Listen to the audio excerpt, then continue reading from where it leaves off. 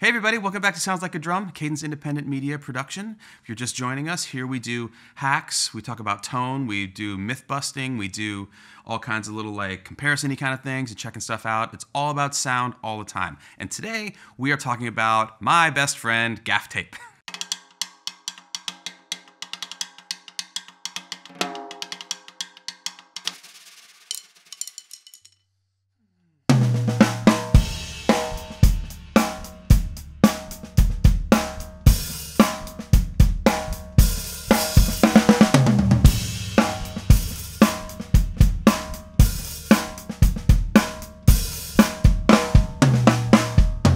Now, if you are not just joining us, if you've been watching our channel for a while, you'll notice a stark lack of gaff tape in a lot of the videos. Um, and that is intentional because we're talking a lot about tuning and we're talking a lot about overtones and pitches and things like that. And sometimes we need to get as much kind of racket and noise out of the drum as possible so that we can hear those things that we're talking about. And sometimes gaff tape is for muffling, sometimes it's for other things on the kit. You know, there's a lot of uses. Um, and today we're going to talk about a few of my favorites. Thanks, as always, to our presenting sponsor, ProMark by D'Addario, for helping us out. We're rocking Firegrain, Rebound, Acorn 5A hickories today. And what we're hitting with them is the House Pearl Masters Custom Kit.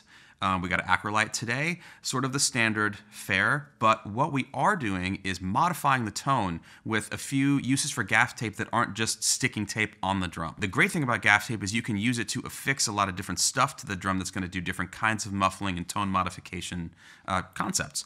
Now, before any of that, actually, we should hit the drums and see how they sound before we start putting stuff on them.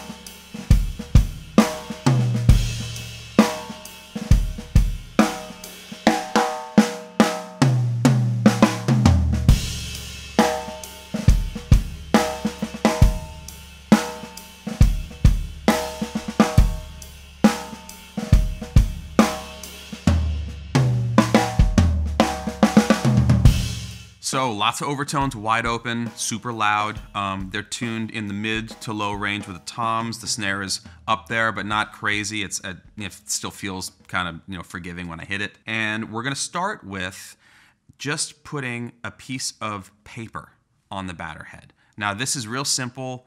Um, I'm not 100% sure of the original origin of this. I started doing it just because I needed somewhere to put a piece of music when I was on a gig and I had one piece of sheet music. I'd set it on the snare drum so I could look at it if I needed to check it out. Destroyed my music, started putting it on other places, a music stand, for instance. Uh, but it has a really interesting effect on the overall tone of the drum, especially for lower volume things. If you're thinking about kind of old style R&B Motown stuff or any situation where you're going to do less miking, maybe play a little softer, lean on compression, things like that. And uh, yeah, it's pretty groovy. So let's see what it sounds like.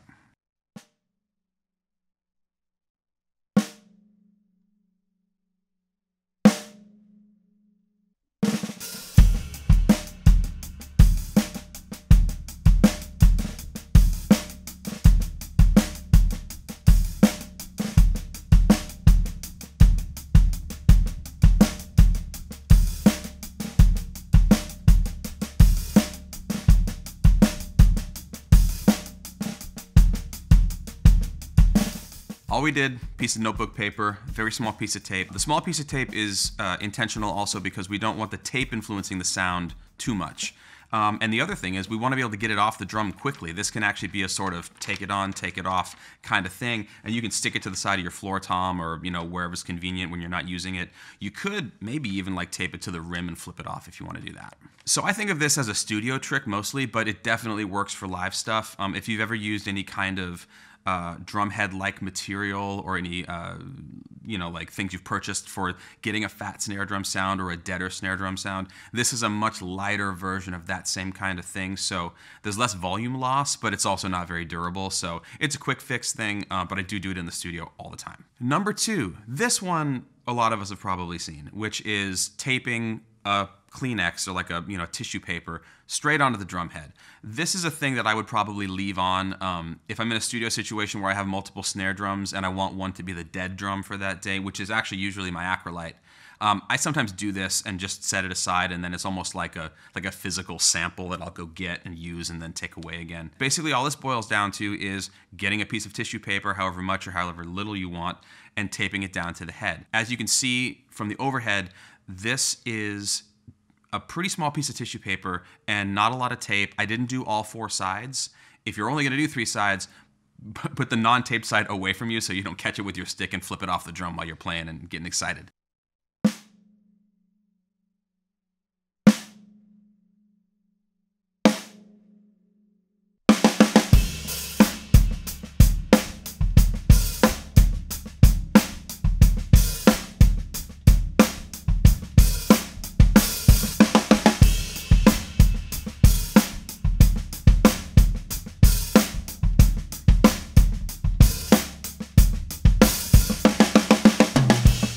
This is the item off the drum. Um, I, I, I, put it on the drum and then I just peeled it off so I could show you. And uh, it's just one Kleenex um, out of like one of those you know to-go containers. Um, and those are kind of nice because if you have a box of Kleenex, you know, they, they sort of fan out when you pull them out. And with the to-go ones from like the gas station or whatever, they're already folded like this, which is kind of convenient. And then, yeah, I put the no tape side kind of at the rim, and then the rest of it just sort of sticks out from there. Um, you can put it toward you if you're going to be playing brushes so you don't run into it, or you can put it away from you if you're going to be playing close to the rim, uh, rim shots, like for funk music or something like that. So this is an oldie but a goodie. Um, an awful lot of people have done it. There is a video on stage of Steve Gadd doing this um, in the 70s and the 80s for sure. It's all over the place. Um, there's definitely stuff taped to like James Gadson's kit in Bill Withers videos. Um, it's part of the sound. It's a quick fix. It's cheap. and uh, yeah, definitely useful. Now let's go one step further into tissue paper territory, and we're actually going, we're just going to tape a package of tissue paper to the head. Um, there are lots of anecdotes about people taping packs of cigarettes to the head um, different things that are basically small and box shaped but lightweight. The way to do it that made the most sense to me was rather than taping over the top of the box, we actually made sort of like a ring of tape and used like flattened it against the bottom of it, as you'll see, to just kind of stick it flat to the drum, uh, which is also convenient because you can pull that right off and stick it right back on again.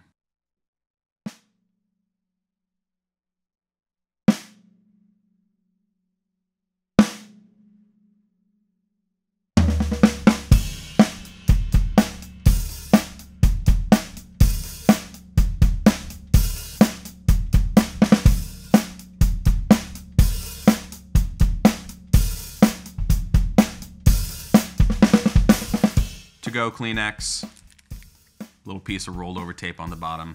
Stuck it by the edge. Uh, it's a little more dramatic of an effect than just one tissue paper. It's, you know, however many this is. But yeah, it works pretty good, and it, it definitely, uh, if you're doing like a Ringo thing or whatever, it's, uh, it's right in the ballpark for that. I noticed with that, there's more mass, so it is fattening up the tone a little bit more. Um, I didn't really adjust the snare wires for any of these, so basically what you're hearing across the board is just the effect of the stuff on there. Um, and then choices that I'm making about how hard I'm going to hit it based on what I'm hearing. If you have things that are barely taped to the drum and you're smashing the drum, you risk it coming off.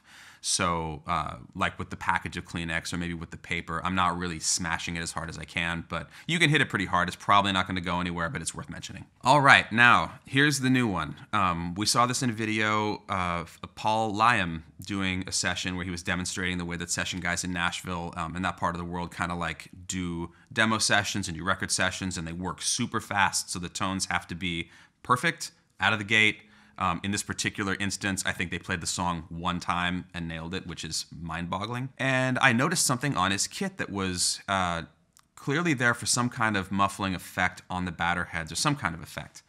And we got in real close and looked at it and discovered that it was gaff tape and a cymbal felt stuck to one end of the gaff tape. So this is the item from the video. As you can see, it's gaff tape, um, maybe like four inches long, something like that, maybe five inches long. It's two layers thick, which I did out of necessity because in order to hold it in place, it needed to be a little stiffer than one piece. On the other side, we have a run-of-the-mill cymbal felt just kind of stuck to one end. I folded these corners in so that you could make sure that they wouldn't stick to the head when it was playing. And then basically what you do here is you strap this to the rim away from you and make sure that this is laying on the head. And then it kind of jumps up in the air when you strike the drum and then lays back down again. All right, so let's give this a quick listen and we'll talk about it.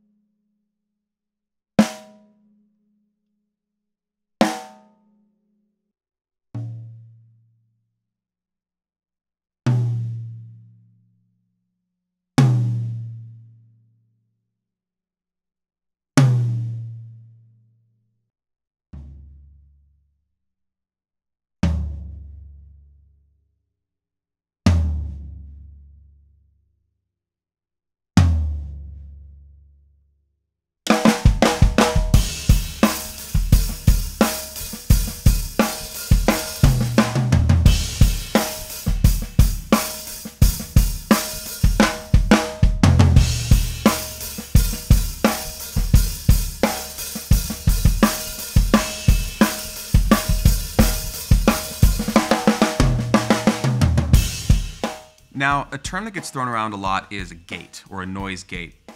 Different kinds of gates, um, both in live and in mostly studio situations. For those of you that are unfamiliar with what this is, it is a device in the signal chain that is designed to open up like a gate and let sound through at a certain decibel level or frequency range, something like that, and then at a certain point, the gate closes and cuts off the end of the sound. This can be a hard cut, it can be a gradual cut, and these are all adjustments that are made to the device. This is basically like an analog gate for your toms. The further out it extends onto the head, the larger the effect. If you put it near the edge, it's a very minimal effect. And what it does is it opens like a gate when you hit it, and then it throws back down and suppresses things. So you're shortening the sound, you're still getting all the overtones on the initial strike, which is very important because you don't want to lose that power, especially in the louder situations. But then on the other hand, in those loud situations, you might not want that tom to ring for days. So this is a kind of incredible solution for that. It also, depending on your tuning scheme, can do a surprising amount of suppression of crosstalk from the snare and kick to the toms, which can be troublesome in the studio sometimes. You hit the snare and everything starts ringing. Because when you're not hitting the toms, these are laying right on the head, almost like you've got your finger on it, um, which is just brilliant. Also, if you haven't seen, or if you have seen, if you haven't, you can go back and check it out, our video about putting cotton balls in the floor tom, that's a little bit of a gatey thing for the Reso head on the inside that you know you don't have to worry about. It's inside, it stays there. And similarly, they kind of jump in the air when you hit the drum and then lay back down again. This is like an external version of that, basically for the batter heads. That's a little more mild um, and comes off super easy, which is just incredibly convenient. Now, just for a really kind of clear, clear comparison, we're going to do a quick back-to-back um, from nothing all the way through all the muffling schemes.